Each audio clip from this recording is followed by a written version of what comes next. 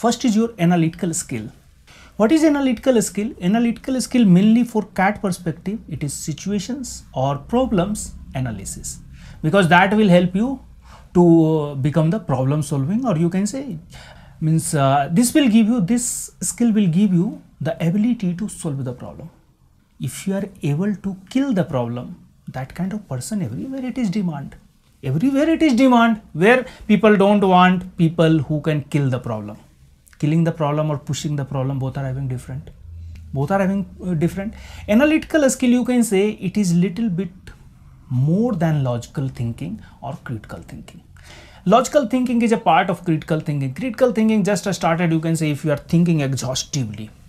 Just you can understand in layman way. If you are thinking very exhaustively like a philosophers that is critical thinking. You are thinking each and everything each and every respect aspect of any issue but if you are little bit coming out from critical thinking your goal is little decided you are little bit clear i have to think in this particular aspect that is logical thinking.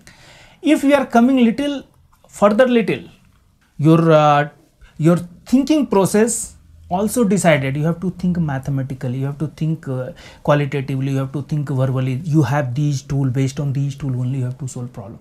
That is analytical then critical thinking must be critical thinking is thinking all the aspect of any issue any situation very exhaustively very exhaustively.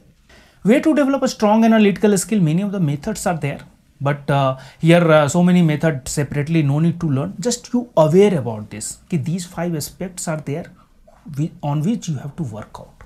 Like once if you you are not able to very clear which aspect you have to prepare or which aspect you have to work out then it is difficult if you will just uh, search on google baba google baba will give, give you millions of the result and you will become totally confused. Whatever your confusion level will be before typing on the google screen it will may increase your confusion level.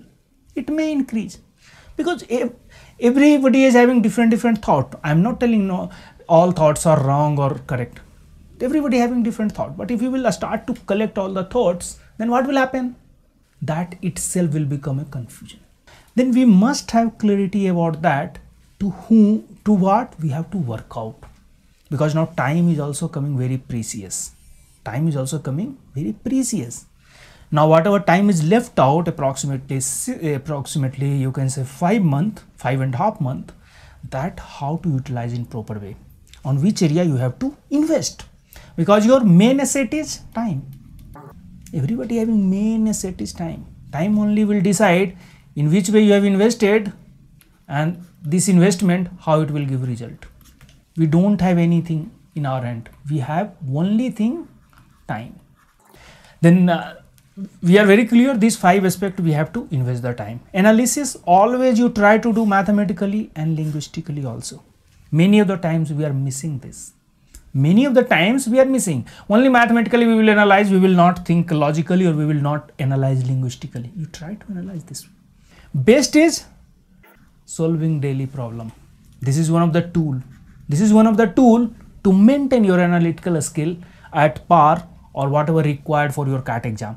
Then who are doing, who are premium student, I hope they are doing, I am sending daily two puzzles. Daily two puzzles I am sending in the form of habit number three. I hope everybody is doing. Who are not doing, you, you, you can register to get it. Uh, this will develop you in best way mathematically and linguistically and it will always keep your mind alert. This is one of the way to develop an analytical skill. Many of the way can be, many of the way can be, but what is most suitable way for our CAT exam? I found solving the